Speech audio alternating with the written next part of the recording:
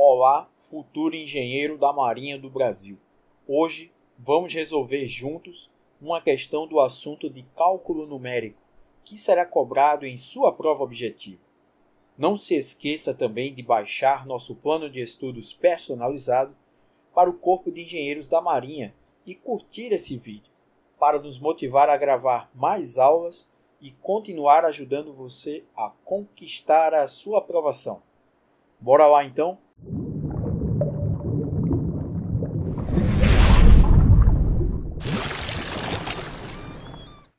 A tabela abaixo representa o número oficial aproximado de pessoas com gripe, ou seja, infectados no Rio de Janeiro. E aí ele deu uma tabela, né? E aí ele disse assim, os dados relativos a 2002-1 e 2002-2 é isso que isso aqui está dizendo. Era para estar tá pequenininho, né? Como está aqui, ó. Era para estar tá pequenininho, como está aqui. Corresponde ao número de casos registrados nos meses de janeiro e fevereiro. Usando uma reta, estime o número de infectados no mês de março de 2002, pelo método dos mínimos quadrados. Pô, pessoal, essa questão aí de cálculo numérico, né? É uma questão bem atípica mesmo. É, não é todo mundo que lembra de utilizar aí o MMQ, né, que é o método dos mínimos quadrados. Não é todo mundo. E aí, quem não lembrar de colocar a fórmula diretamente, não vai conseguir fazer essa questão, tá? Porque ele está pedindo a reta nos mínimos quadrados. Você poderia até usar uma reta genérica aí, mas é, não seria o valor correto. Se ele quer do MMQ, então a gente tem que usar do MMQ, tá?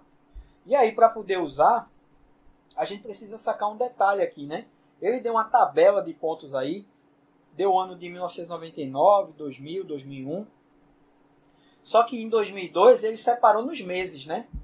Então essa tabela já está um pouco esquisita, né? Porque quando a gente trabalha com uma tabela como essa, normalmente a tabela tem que estar tá dentro é, dentro dos dados do que aquilo está fornecendo tá? Se, é, se a data, tá, na verdade deveria ser ano ali, né? Nem data.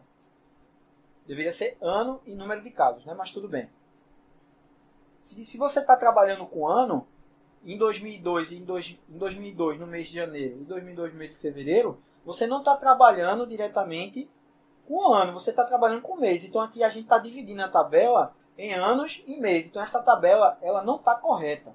Então o que é que tem que acontecer aqui? A gente vai ter que fazer uma nova tabela para poder trabalhar esses meses aí. Eu não posso pegar o que está em ano e juntar com o que está em meses.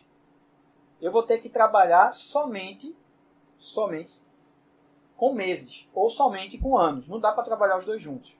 Nesse caso aqui, ele deixou fixado dois meses de um ano só. Aí vem a sacada da questão. Poxa, como é que eu vou fazer essa reta do MMQ, primeiramente? Eu preciso entender que uma reta em cálculo numérico, ou até mesmo em uma definição matemática, eu só preciso de dois pontos para definir uma reta, concorda? É só dois pontos que eu preciso para definir uma reta. Se eu estou utilizando o mês de janeiro e o mês de fevereiro no ano de 2002, os anos de 1999, 2000 e 2001 não vão importar para mim. Não vão ser bem relevantes, por quê?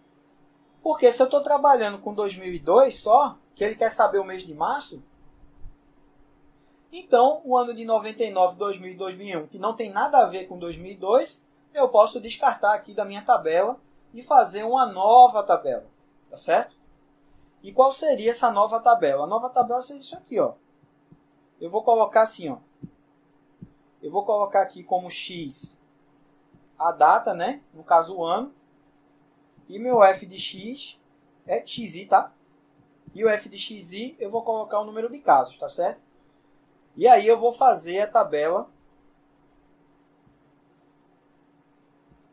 utilizando isso. Utilizando somente os dois valores aqui que ele deu, já que os dois valores definem uma reta.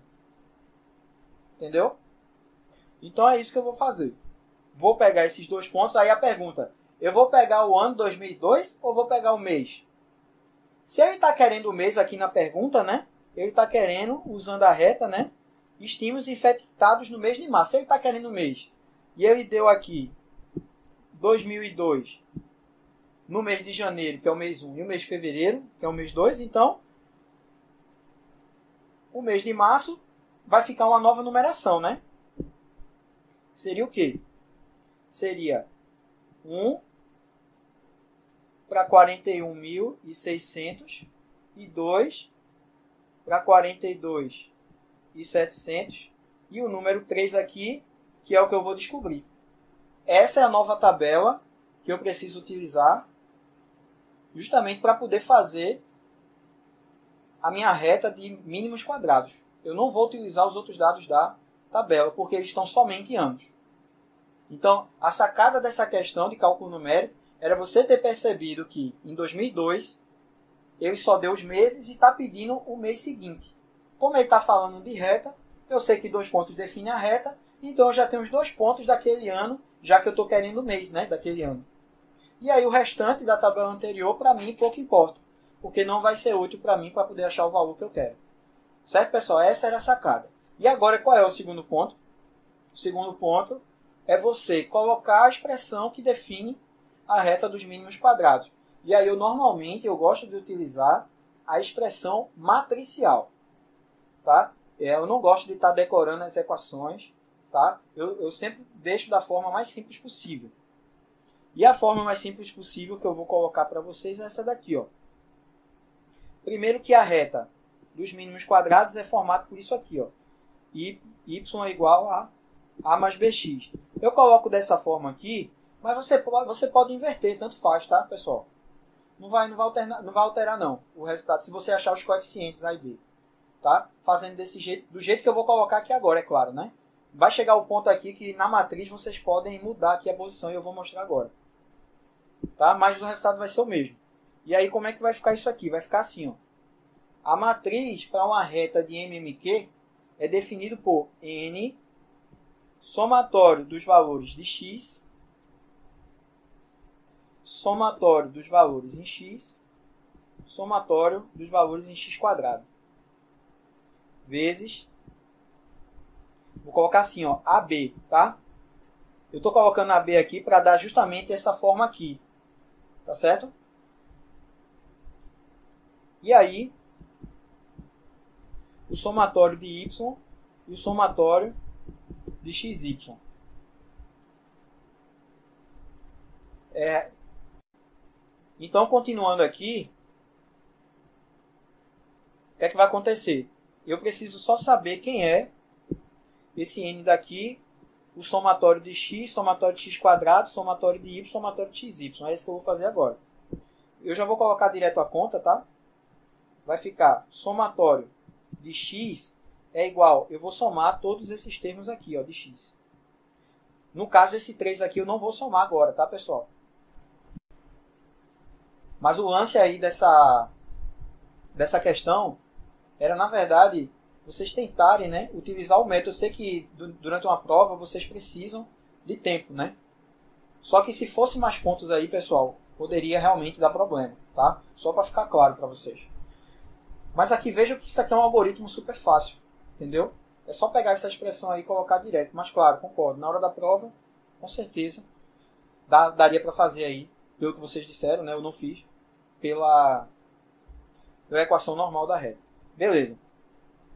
Agora, o que é que eu vou fazer? Eu vou montar minha matriz, né?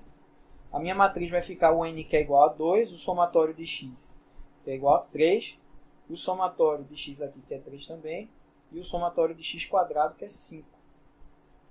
Multiplicado por AB, aí só um detalhe, tá pessoal? Quando eu coloco AB aqui, na minha equação vai ficar A mais BX. Se eu inverter o A com B, aí eu vou ter que trocar a ordem aqui na minha equação, tá? Só para ficar claro aí para vocês. Tá? Só para ficar claro.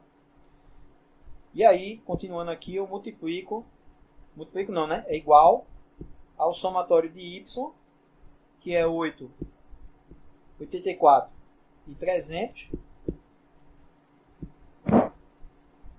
84 e 300, né? E o somatório de xy, que é 127 mil. Beleza? E aí o que é que vocês vão fazer? Vão, vão montar um sistema, né? Isso aí é a matriz, vocês multiplicam a matriz, vão formar o, vão formar o sistema, né? E aí esse sistema vai dar isso aqui, ó. Vou colocar até direto aqui. Deixa eu ver aqui quanto é que vai ficar. É 2A mais 3B é igual a 84,300. E aí vai ficar 3A mais 5B, que é igual a 127 mil. E aí você, é um sistema de duas equações das incógnitas e aí vai fazer aí para poder achar os valores de A. E quem são esses valores de A e de B, né? Quem são os valores de A e de B? O meu A aqui deu 40,500 e o meu B deu 1.100, tá? E aí agora eu vou jogar na minha equação aqui. Como é que vai ficar? Vai ficar y é igual a 40.500 mais 1.100x. E aí o que é que eu tenho que fazer agora? Onde tiver x, eu vou jogar o meu valor de 3, né? Para poder achar qual é o valor correspondente, já que ele quer no mês de março, né? E aí eu vou ficar com y de 3, né? Vai ser igual a 40.500 mais 1.100 vezes 3. Fazendo essa conta aí, a gente vai achar um valor de 43.800. É o valor de casos aí para o mês de março que ele está perguntando. E a resposta está aqui na nossa letra E, tá? Então, só recapitulando aqui, isso aqui é uma questão de é, mínimos quadrados. É importante lembrar essa expressão aqui de mínimos quadrados, que é, que é a expressão da reta. É a forma matricial da expressão da reta. E aí vocês só precisam fazer o quê? Fazer o somatório, né? Que aí é tudo somatório. Fazer as contas e depois calcular e fazer o sistema e responder, tá? O pessoal falou aí que quando tem dois pontos não precisa fazer a reta do MMQ e realmente é verdade. Eu acho que o erro é zero, né? Porque a gente tem um erro associado, já que o método dos mínimos quadrados ele associa, né? É, a derivada, né? Dos quadrados, a soma dos quadrados das derivadas do, do erro, né? E aí eu acredito que seja zero aí, né? Essa aproximação que é feita, né? Para poder fazer o menor erro possível, né? Que é uma técnica para você reduzir o máximo possível esse erro. Por isso que com dois pontos deu certo. Mas na hora da prova, se tiver mais de dois, eu acredito que não funcione, tá? Então só para ficar claro para vocês aí, tá?